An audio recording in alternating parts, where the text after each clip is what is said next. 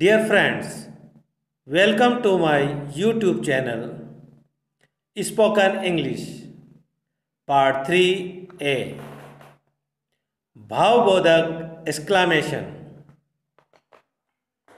अंग्रेज़ी में मन के अलग अलग भावों को प्रकट करने का अपना ही तरीका है। यह सरल भी है और सुंदर भी। हैरानी खुशी दुख, नाराज़गी और भी दूसरे कई भावों को छोटे छोटे वाक्यों में व दो तीन शब्दों में बहुत अच्छे ढंग से कहा जा सकता है। इन शब्दों और वाक्यों का हम आम बोलचाल स्पोकन इंग्लिश में बार बार प्रयोग कर सकते हैं।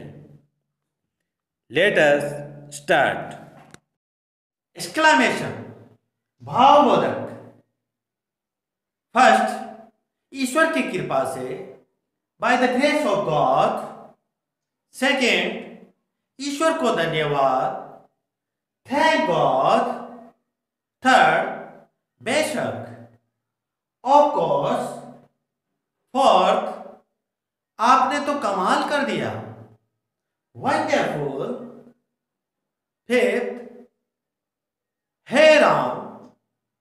Oh my God number six वाह वाओ नंबर सेवन अरे। हे एट अति सुंदर। ब्यूटीफुल नाइन्थ शाबाश। वेल डन टेंथ वाह वाह मार्वलस इलेवन कितने अपमान की बात है? हाउ डिसग्रेसफुल ट्वेल्थ कितनी भयानक बात? हाउ टेरिबल थर्टीन फटाफट कीजिए। हरी अप प्लीज़ फोर्टीन जरा सुनिए। लिसन प्लीज़ फिफ्टीन प्रभु मेरे गुड हेवंस सिक्सटीन कितनी बड़ी विजय। What a great victory seventeen बड़ी खुशी का समाचार। That is a good news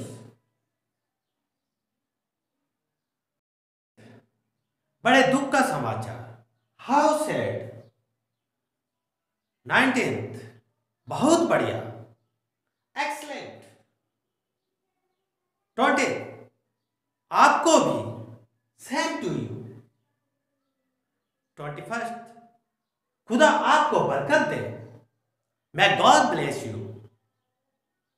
twenty second बड़ी फिजूल की बात है।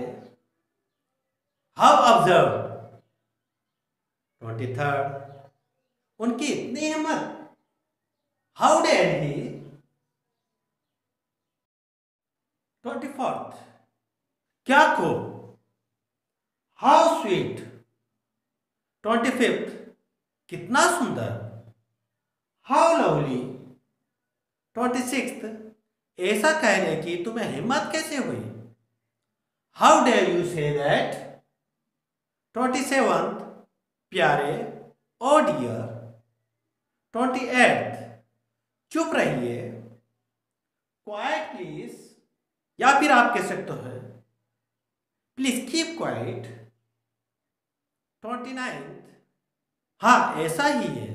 Yes it is